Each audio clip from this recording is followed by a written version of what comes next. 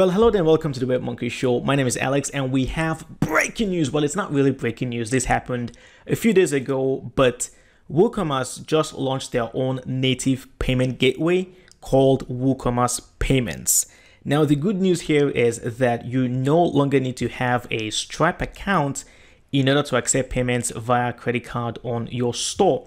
Now, WooCommerce Payments is actually powered by Stripe, by the Stripe engine. And when it comes to the transaction fees, it's exactly the same, which would be, I believe, a 2.9% uh, per sale. So it's right here. It's the pay as you go. It's free to install, by the way. The plugin is free to install. No setup fees, no monthly charges. But then for every transaction, you will get charged 2.9% plus 30 cents per transaction for US issued cards. But then if you're accepting payments from cards issued outside of the US, uh, it's going to be 2.9% then plus 1 for such uh, transactions. So that's exactly uh, what it is. And it's also $15 fee per dispute, which will be funded if you win the dispute. Now, these charges are exactly the same as Stripe. So it's not like it's more expensive than using Stripe. But like I said, the good news is that you no longer need to have a Stripe account in order to accept payments via credit card. And best of all is that you can view all the transactions, handle all the disputes, the charges, everything on your WordPress backend. You no longer need to go to Stripe in order to do all that stuff. So, in my humble opinion, I think this is a game changer and this is a plugin I will be using on my own uh, online stores. Now, when it comes to actually registering to use this plugin, it's free, but it's only for uh, merchants based in the United States. Now, I was kind of curious about this initially because online stores can be anywhere. They're not physical stores. So what they really mean here is that you do need to have some form of physical presence in the United States so when you're installing the plugin and you're registering, you'll be asked the usual questions such as, you know, what's your name, uh, what's your address. But then there's a particular part where you will be asked to provide your social security number. That's of course social security number based in the US. Now I do have one and as such I was able to register. So I'm guessing if you don't have a social security number, you will not be able to register to use this plugin. But the good news is eventually I believe they will make this plugin available to uh, everyone uh, across the world. I, I don't know if they can cover all the countries, but definitely they will, they will be moving outside of the United States uh, pretty soon. So as part of the registration process, you'll be asked to provide a phone number. They will send you a code. You'll provide the code. And then, of course, you'll have to verify your identity. And I was able to use my international passport for the verification process.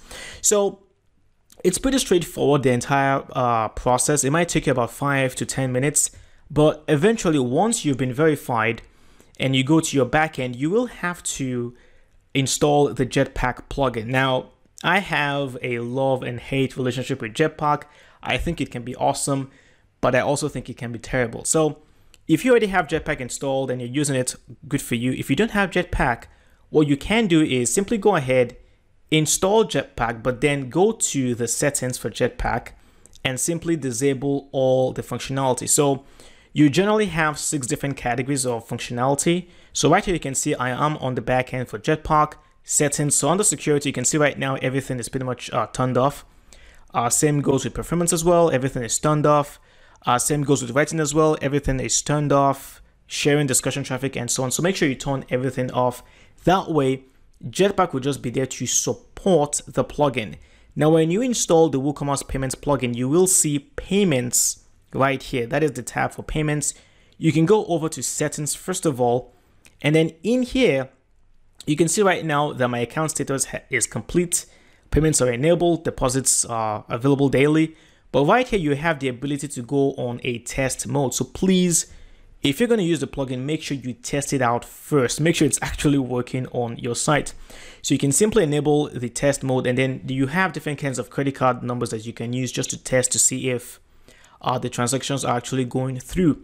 And then of course, uh, you will see uh, on payments as well, you will see deposits, transactions, and disputes. Now, I did go ahead to simulate a uh, test transaction. And if I go to deposits right now, you will see it right there. It is from So you can see right now I got a deposit of $96 and um, uh, 79 cents.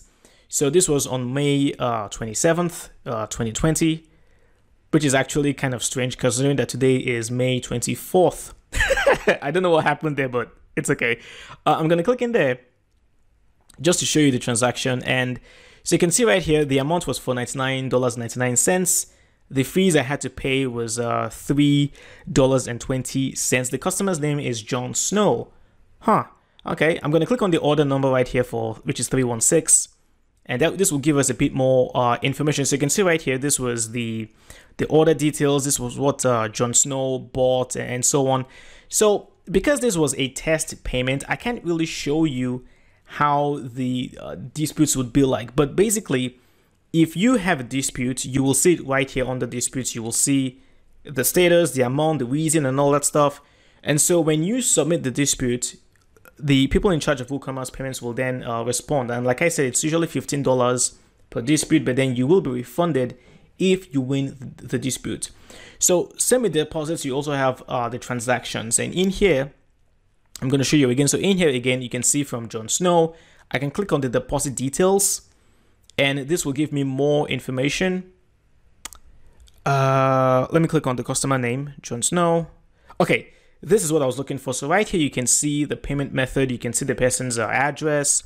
The CVC check was passed. The street check passed. The zip code check passed as well.